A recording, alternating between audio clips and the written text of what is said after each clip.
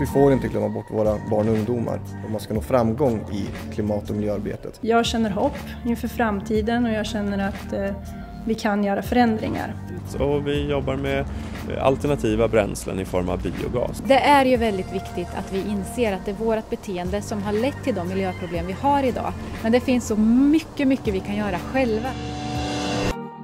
Vi måste lämna över den planet som vi lever på i ett bättre skick än vad vi fick den i.